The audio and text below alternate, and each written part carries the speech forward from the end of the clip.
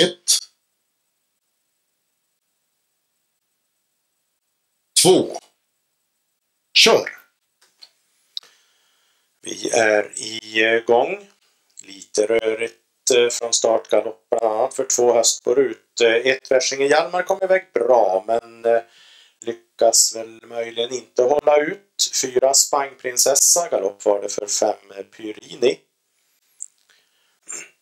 Snabbt upp Eh, också sju Svarthövde som är på tredje plats. En bit ner där 15 Faxtrolla från eh, tillägg. Snett invändigt om den 6 eh, Paulas Prins. Ute i tredje spår där kommer 14 Konjaks Viking farande för Janne Norberg. Strax eh, passering 500 meter, kommer dit på 34,9. Frasse eh, Fransson i tät med 4. Spangprinsessa. Norberg ångar vidare. Uppe eh, nu då snett utvändigt om ledaren med 14 Konjaks Viking med i rygg på ledaren ett Versinge Hjalmar. På gång via tredje 13 Gärsjö Christian mellan hästar där sju Svarthövde som i sin rygg, ja inte nu längre för Persson gick ner på innerspåret med 15 Faxtrolla. Norberg har övertagit med 14 Konjaks eh, Viking. Eh, öppna, ja då galopperar den också. Det, det händer en del i det här loppet. Diskvalificerad häst nummer 5, Pyrini med Magnus A. Ljus 1000 meter 32,7 och nu i tät istället ett Värsing eh, Hjalmar. Ny galopp eh, för 14 Konjaks eh, Viking upp snett utvändigt om ledaren 13 Järvsö Christian.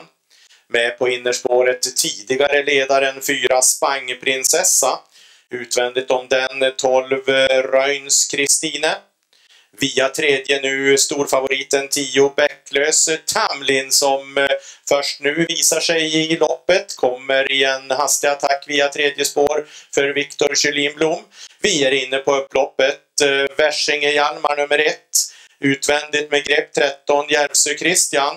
Bra fart eh, mitt i banan för favoriten 10 Bäcklös eh, Tamlin. Bäcklös eh, Tamlin kopplar väl greppet. Röjns Kristine gör det jättebra men segern till Viktor Kylinblom, tredje raka med obesegrade 10 Bäcklös Tamlin. Motsvarande det stora favorittrycket gjorde han Bäcklös Tamlin i tredje raka och familjehästen kördes ikväll som vanligt utav Viktor Kyllinblom. Viktor, berätta om inledningen. Ni stod långt bak. Ja, men vi stod långt bak och så vart det lite passgång iväg så vi fick ta upp lite där och så. Men sen, sen så ja, rullade det på. Ja, behövde du vara efter honom för att vinna eller körde du på säkerhet? Nej, men jag körde på säkerhet. Jag tyckte inte han var som bäst idag och, och har väl kanske känts lite sliten efter förra starten. Men, men eh, vi ska väl kolla upp någonting här nu för se om vi hittar något. Ja, jag hade underkant 27 så att eh, det är hårda krav. Ja, men det ska ändå travas helt perfekt om det ska kunna fortsätta utvecklas. Stort grattis! Ja, tack! Ska gå och prata med mor och far som är i vinnarcirkeln och njuter.